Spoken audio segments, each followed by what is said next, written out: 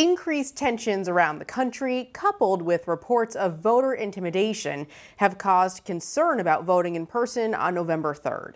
Luckily, we haven't had any reports of that kind of disruption here in the bi-state, and we'd like to keep it that way. Brown and Crouppen is making sure we stay informed if we are planning to vote in person this November. So, Andy, today we're talking about voter intimidation uh, in regards to the upcoming election. What exactly does that mean? So, uh, voter intimidation can take many, many forms, and it's always wrong and it's always illegal. Um, the rhetoric in this country has gotten very contentious. Um, emotions are running high. Uh, and I think a lot of people are resorting to behavior that is not historically seen at election times. People are encouraging others to go to polling places and intimidate voters in ways that really I've never seen before in my lifetime.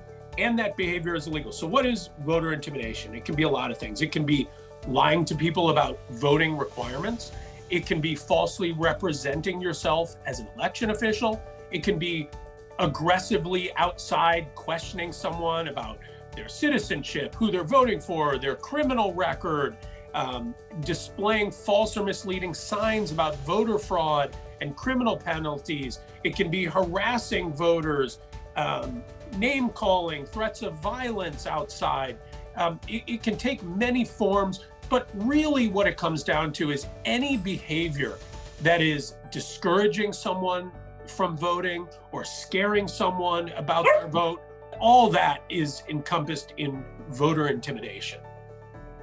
And how do we how do we prepare ourselves for something like that? Luckily, that hasn't really been happening here in Missouri, right? But how, how do we prep ourselves if that does become an issue? First of all, I think everyone should have a voting plan. Know where you're going to vote, know how you're going to vote, know what you need to vote. It's different in every state what the requirements are. In Missouri, you do have to have an ID. It does not have to be a photo ID. You can bring a utility bill. Um, there are a lot of different ways to do it.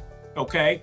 Only if election officials can ask you for identification. So, you know, I know there's been a lot of talk about people just going to polling places and being election watchers. They can't do that. You have to be qualified. You have to take a course. You have to have the right to be there. If you're in line to vote when the polls close, you have the right to vote, period. It doesn't matter if it's two in the morning before you get to the front of the line. They have to keep those polling places open for everyone who is in line when the poll closes. Um, I, I would say this if you see anything that you think is even bordering on election voter intimidation, I would take a picture of the person. I would take a video if possible of the person. I would report it to the election officials on the scene. I would also call Google your local election office. I would call the election protection hotline, get everyone involved, call the news, call whoever you think you need. 1 866 OUR vote is a number you can call for the election protection hotline. So if you see something, say something, know your rights, have a voting plan, and vote, please.